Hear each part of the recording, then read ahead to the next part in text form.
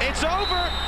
The LA Galaxy know they are the champions of the West next weekend, heading to MLS Cup in Frisco, Texas. 10th year Major League Soccer and LA Galaxy.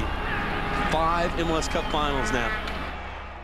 Sky so vast as the sky. MLS continued its steady expansion into its 10th season. New teams and new stadiums were now being announced each year.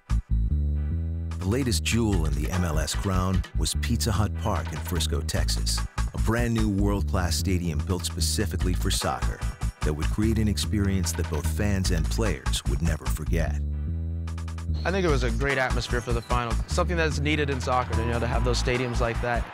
I think the proudest moment I've had was sitting in this gorgeous new stadium in Frisco and thinking, how could I ever have imagined I'd be playing in an MLS Cup in a stadium like that full of people in, in America?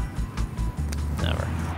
The 2005 Cup would be the stadium's network television debut and the stage for another New England-Los Angeles matchup. This would be the second time these clubs had met in an MLS Cup in just three years. Galaxy and Rev fans converged on Frisco from opposite coasts for the showdown in the Lone Star State.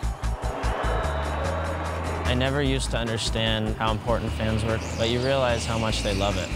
That final had a lot of New England fans, a lot of Galaxy fans, and then a lot of just sports fans, a lot of soccer fans, and it turned out to be an awesome day. After a rocky regular season run and just barely making the playoffs, the Galaxy had turned it on in the postseason and made their march all the way to the finals. Despite their underdog status, LA remained fearless and focused.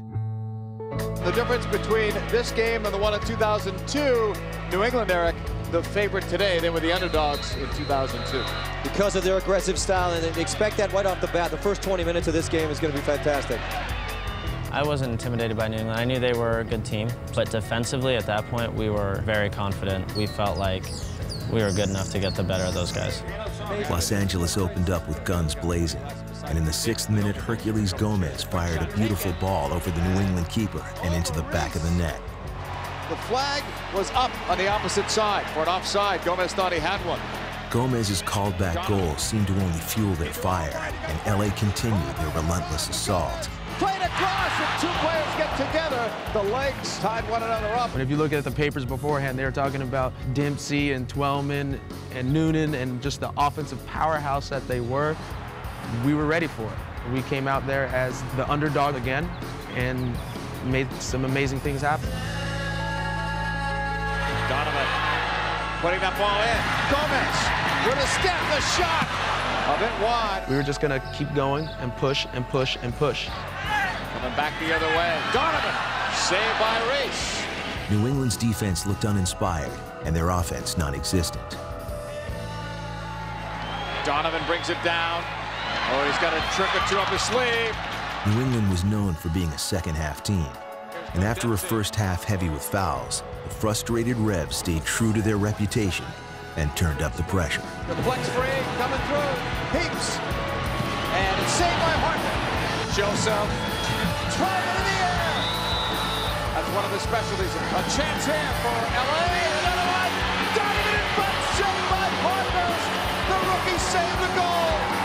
International finds Donovan. Pulled across. No flag up. Gomez.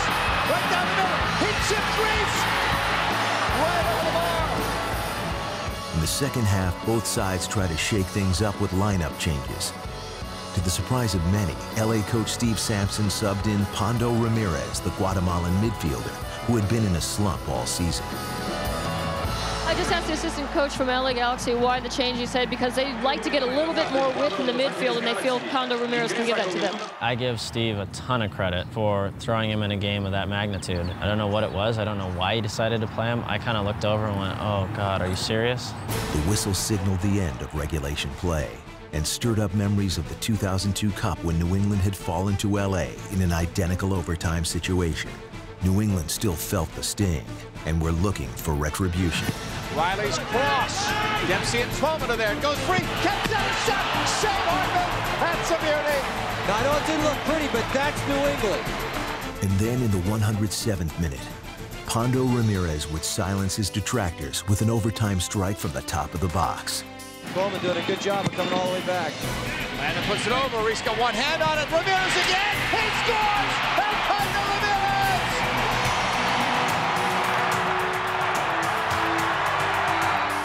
Underdog player from the underdog team had received vindication and emerged a hero. LA had achieved MLS Cup glory once again. The goal was scored by a player taken out of the starting lineup because he couldn't score goals. You feel for someone like that because he's trying so hard and he couldn't get it. I mean, it was a fairy tale ending. That's it. That's it.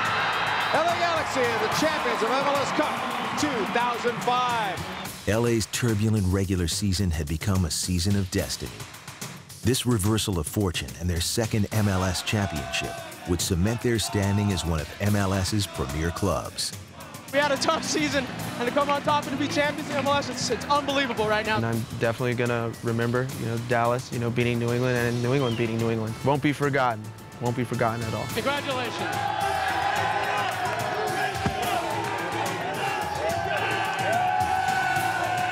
Heard a lot about uh, people questioning this team in our heart, but uh, up here stands tonight 28 United Brothers. And this championship is a representation of our organization, and our belief, the best organization in Major League Soccer.